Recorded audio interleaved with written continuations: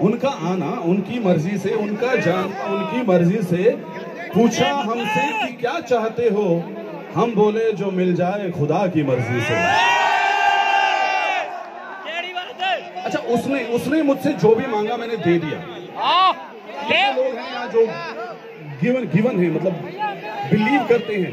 Giver है कितने लड़के हैं यहाँ पर जो गिवर है? गिवर कितने लड़के?